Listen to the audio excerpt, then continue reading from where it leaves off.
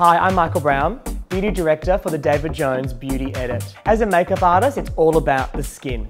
And one of the key elements is complexion perfection, adding hydration for an everyday makeup look.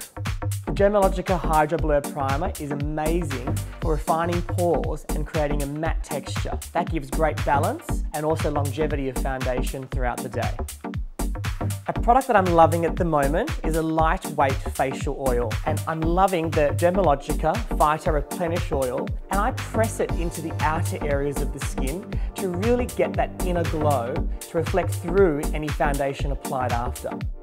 With balanced skin and a beautiful glow, sometimes all you need is a pop on the eye.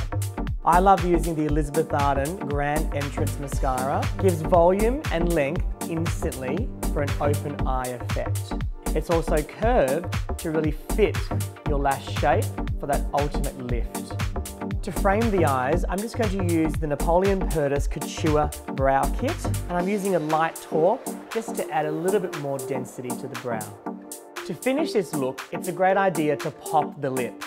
I'm using the Elizabeth Arden Beautiful Colour Bold Liquid Lipstick. This liquid lipstick has a built-in applicator, which is amazing to apply colour first. Once you can see enough colour on the lip, use your fingertip to dab and press to create a trend-worthy stain. And this shade is the perfect complement to the glowing skin. So you too can create complexion perfection using these products available at David Jones.